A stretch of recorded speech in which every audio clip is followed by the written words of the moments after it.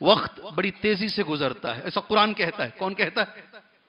कुरान कहता है, कियामत के रोज हर आदमी को पूरी ज़िंदगी कितनी लगेगी मालूम?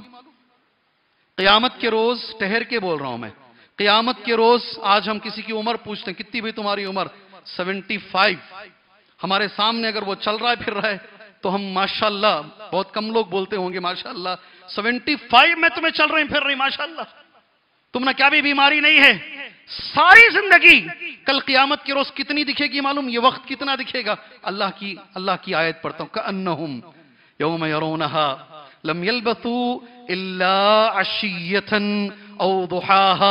ये अल्लाह का लफ्ज है। पलट के देखोगे ज़िंदगी को तो ज़िंदगी इतनी ही दिखेगी। अशियतन औ दुहाहा, ये अल्लाह का लफ्ज है। शाम का थोड़ा सा वक्त या दोपहर का थोड़ा सा वक्त। इतना ही हम दुनिया में गुजारे हैं, ऐसा नज़र आएगा, ऐसी ये ज़िंदगी गुजर जाएगी। अल्लाह अकबर। सोच के देखो ना, कब बच्चे थे, कब जवान हुए, कब बूढ़े हो गए। जरा जहन पे ज़ोर डाल के देखो ना, हमारी ज़िंदगी कैसे गुजर गई है? बड़ी तेज़ी से गुजर जाएगी। दूसरी चीज़, ये मेरा पैगाम है इस जुमा का। इसके साथ जुमा में खत्म करता हूँ इंशाला अगर कोई वक्त को जाये करेगा, गौर से सुनना, वक्त उसको जाये कर देगा। अगर कोई वक्त को जाये करेगा, कोई कौम हो, कोई अकेला फर्द हो, कोई भी हो, अगर कोई वक्त को जाये करेगा, वक्त उसे जाये कर देगा। ये जहन में रख लेना अच्छे तरीके से। और इस मुल्क हिंदुस्तान में मुसलमानों के साथ यही हुआ है। अल्लाह ने हमें वक्त दिया था सुबह अल्लाह सब कुछ हमारे हाथ में था। तो पढ़ेंगे तो आँखों से आँसू आते हैं।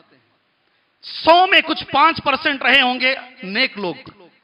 90 परसेंट से ज़्यादा लोग ऐसे थे, सारी रात मुर्गे से मुर्गे को लड़ाना, बकरे से बकरे को लड़ाना, सारी रात बैतबाजी कराना, कवालियाँ कराना, गाने गवाना अशार की महफिल रखना, सुबह में जाकर सोते थे, सुबह में सोते, दोपहर तक, इनकी दिन रात हो गई थी और रात दिन ऐसे बेशुमार लोग हैं। अल्लाह ने दिया तुम्हारे हाथ में, आज वो खमियाजा हम भुगत रहे हैं। आज वो खमियाजा हम भुगत रहे हैं। याद रखो अच्छी तरीके से, ये रिज़ल्ट आज का नहीं है।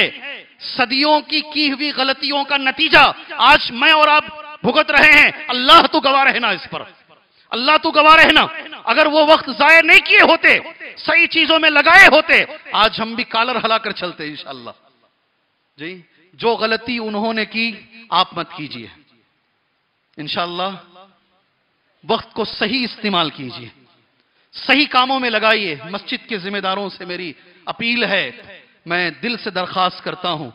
गुजारिश करता हूँ, इससे छोटा लफ्ज नहीं है। इससे छोटा लफ्ज मैं नहीं बोल सकता। जितनी मस्जिदें हैं, करोड़ों रुपए डालकर आप मस्जिदें बनाते हो। हमारे नौजवानों को सही वक्त गुजारने के लिए आप कुछ इंतज़ाम करो। करो इंतज़ाम। क्या करेगा पंद्रह साल का नौजवान? कहाँ जाएगा? कोई माहौल नहीं है। गलत माहौल में है। बाद में ये नौजवान जब किसी गंदी आदत में चला जाता है, तुम खुद परेशान होकर कहते हो, इस बच्चे से नहीं मिलना। क्या बोलते हो? तुम रखो ना मस्जिदों के अंदर, ये अल्लाह के घर हैं। सारी तरबियत नबी ने मस्जिद से दी है। जो निकले वो मस्जिद से निकले हैं। उमर भी मस्जिद से, अबू बकर भी मस्जिद से, इबन उमर भी मस्जिद से, इबन अब्बास भी मस्जिद से। क्यों आप मस्जिदों को बंद बंद बंद करके रखते हो? पाँच वक्त की नमाज़ हो गई, खत्म। ताला डालो, चलते रहो। ये नौजवानों को संभालो टीन एजर को संभालो, कुछ ऐसा मौका दो इनको, ऐसे लोगों को रखो, ये नौजवान मस्जिद से जुड़ा रहे और नेक बने इंशाला वरना कल ये नौजवान बिगड़ेंगे ना, हम भी उनके साथ बराबर बिगड़ने में शामिल रहेंगे। अल्लाह से दुआ है, अल्लाह कहने से ज़्यादा, सुनने से ज़्यादा, अल्लाह हमें अमल की तोफीक अता फरमाए।